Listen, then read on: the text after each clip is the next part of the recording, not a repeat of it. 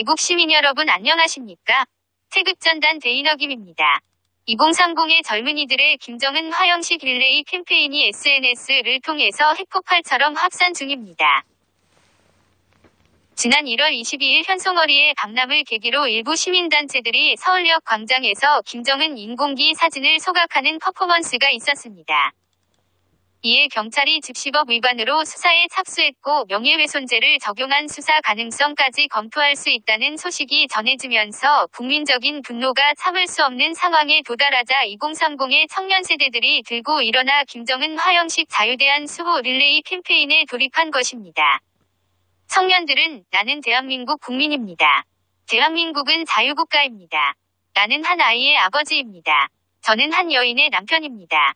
나는 한 남자의 아내입니다. 등 각자 짤막한 말을 남긴 후에 들고 있던 김정은 사진에 불을 붙이는 영상을 찍어서 각자가 SNS에 게시하며 릴레이 캠페인의 확산을 적극 독려하고 나섰습니다. 이들이 동시다발적으로 시작한 이번 김정은 화형식 자유릴레이 캠페인은 SNS 공간에서 네티즌들의 폭발적 관심과 호응으로 급속히 확산되고 있습니다. 이번 김정은 화형식 릴레이 캠페인에 참여한 젊은이는 대한민국의 주적인 김정은 사진을 소각한 것인데 대한민국 경찰이 명예훼손죄로 수사할 수 있다고 자국 국민을 협박한다는 게 말이 되느냐, 라며 자유라는 표현이 파진 현 정부의 개헌 추진을 결사반대해야 하는 이유도 바로 여기에 있다. 라며 자유릴레이 캠페인을 벌이는 이유를 설명했습니다. 이에 즈음하여 30대가 주축인 자유대한 호국단이 시국선언을 발표했습니다. 아래는 자유대한 호국단의 시국선언입니다. 성명. 평창올림픽을 평양올림픽으로 만든 문재인 정권을 규탄한다. 지금. 온 나라가 평창 동계올림픽으로 인해 시끄럽고 혼란스럽다. 이는 순수한 스포츠 축제가 저 앞나란 북한 김정은의 3대 세습 독재 체제를 돈 한 푼 안 들이고 전 세계에 알리는 정치 선전의 장으로 변질되었기 때문이다. 그동안 국내에서는 당사자인 아이스하키 선수들과의 협의가 전면 배제된 채 올림픽을 겨우 20일여일 앞둔 시점에서 정부가 일방적으로 여자 아이스하키 남북 단일팀을 추진한 것에 대해 국가가 정치적인 이유로 청춘들의 꿈을 빼앗은 대표적 사례라는 비난의 여론이 들끓었다.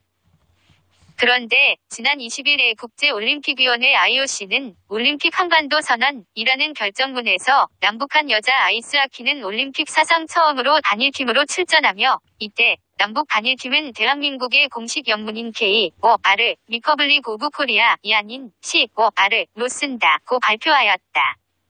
그리고 한반도기를 가슴에 새긴 유니폼을 입으며 승리할 경우 애국가를 대신한 아리랑을 튼다고 하였다.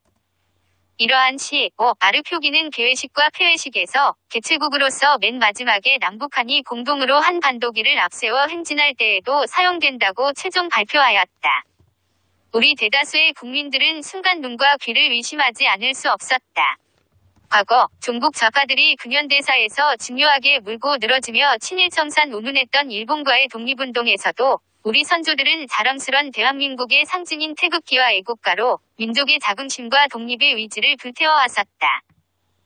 이처럼 굴곡진 우리 민족의 역사와 생사고락을 함께 해온 대한민국의 상징인 태극기와 애국가를 대신하여 대다수 국민의 의사에 반하는 정체불명의 한반도기와 아리랑을 사용을 강행하기로 결정해버린 현 정부와 이를 승인한 국제올림픽위원회 IOC의 최종 결정에 우리는 심각한 우려와 경악을 금할 수 없다. 게다가 한술 더 떠서 급조된 남북 단일 팀의 명칭과 남북한이 공동으로 입장하는 개회식과 폐회식에서조차 개최국 대한민국의 국호인 K, O, R, Republic of Korea, 이 아닌 C, O, R로 결정을 하다니 이것이 도대체 말이나 되는 소리인가. 이것은 필시 이번 평창 동계올림픽을 계기로 세계인을 상대로 대한민국 국호를 그동안 알려진 K, O, R, Republic of Korea, 이 아닌 C, O, R로 바꾸려는 주사파 정권인 문재인 정권의 숨은 의도는 아닌지 심히 우려스럽다. 우리는 대한민국의 국호를 K, O, R, Republic of Korea, 이 아닌 C, O, R로 바꾸려는 시도를 강력히 거부한다. 이러한 움직임은 지금껏 북한이나 북한을 추종하는 세력들이 꾸준히 주장해오던 것이다. 실제로 과거 노무현 정권이던 2003년 8월 21일에 영문국호 코레아 표기 복원 문제를 놓고 남북 역사학자들 250여 명이 평양에서 학술 토론회를 개최하여 국호국 원사업에 공동 노력하기로 한 바 있었고, 2016년에는 5월 전당대회를 앞두고 북한의 국호를 코리아에서 코레아로 바꾸려는 움직임이 있었다. 북한은 일본이 과거 일제 강점기에 코레아 위시가 재팬 위 제이보다 앞서는 것에 불만을 품어 일본 측에서 강제로 바꾼 것이라는 주장을 꾸준히 제기해왔다. 2002년 월드컵 4강 신화로 한반도를 뜨겁게 달구었던 당시에도 국내 종북 세력들이 교묘하게 북한의 이러한 일제 음모설을 널리 퍼뜨려 한때 코레아 표기가 확산되었던 적이 있었다. 하지만 이는 명백한 거짓이다. IOC 규정상 올림픽 입장 순서는 영어 순이 아니라 개최국 언어의 표기법에 따르게 되어 있다. 또한 일제 강점기 동안의 공식 문서를 보면 Chosen이라는 명칭만 썼지 코리아는 쓰지 않았다. 결국 우리 국호는 코레아였는데 일제가 코리아로 바꿨다는 주장은 사실이 아니다. 이러한 북한의 허무맹랑하고 일방적인 주장에 근거하여 전 세계에 널리 알려진 자랑스런 대한민국의 국호인 K, O, R, Republic of Korea를 북한이 추구하는 C, O, R로 바꾸려는 시도는 친북 주사파 정권의 한계를 명확히 드러낸 처사이다. 또 아리랑은 어떤 곡인가? 과거 내라는 모 혐의로 구속된 이석기 전 의원이 애국가를 우리나라 국가가 아니다. 아리랑이 우리 국가다. 라고 주장한 것을 보면 북한과 국내 주사파 종북주의자들에게 있어 아리랑이 어떤 의미의 곡인지가 분명하게 드러난다. 현재 김정은의 최측근인 현송월의 박람으로 연일 화제이다. KTX 임시 특별 개차에 취재 제한 그리고 천명이 경호라는 일은 바 파격적인 국빈급 대우. 강릉에서는 개장한 지 일주일도 안 된 특급 호텔 VIP 룸의 투숙을 위해 호텔 절반인 한동 전체를 비운 것으로 알려졌다. 한 끼 식사도 15만원짜리 한우 식사로 챙겨주었다는 말까지 나온다. 그녀가 누구인가? 그녀는 2015년 내 베이징 방문 때 김정은을 찬양하는 노래를 중국 측이 거부하자 원수님의 작품에 정 하나도 뺄 수 없다. 며 공연을 취소하고 평양으로 돌아가 버린 여성이다. 이처럼 명백하게 우리의 주적인 북한의 주체 사상을 신봉하는 김정은의 최측근인 현송어를 국민의 혈세를 낭비해가며 왜 국빈급 대우를 하는 것인가? 국제적인 시각에서 보면 북한은 그동안 공포정치를 펼쳐온 독재국가 그 이상도 이하도 아니다.